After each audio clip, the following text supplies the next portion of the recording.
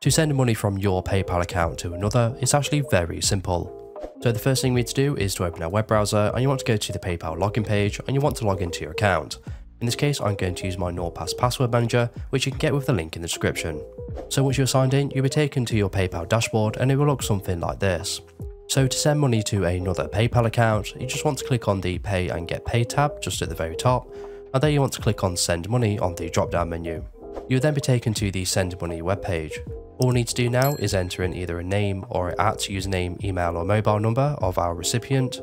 So in this case, I'm going to enter a email and then you want to click on the correct contact on the drop down menu below.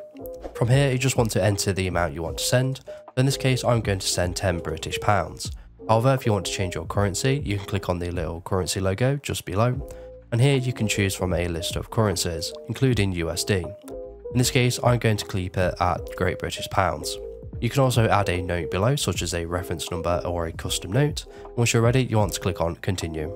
Now, if this is your first time sending funds to a new recipient, you'll need to choose whether this is for goods and services or for friends and family. If you choose goods and services, you will get buy protection. In this case, I'm going to choose for friends and family and click on continue. You then want to select the payment method you want to use. So you can either use your PayPal balance, and if you have multiple currencies, you will get multiple options, or you can use one of your bank accounts. In this case, I'm going to use one of my PayPal balances and click on next.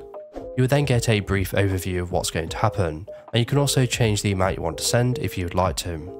So once you're ready, you want to scroll all the way down and you want to click on send money now, and that will instantly send the money to the recipient's PayPal account. And that is how you send money from your PayPal account to another.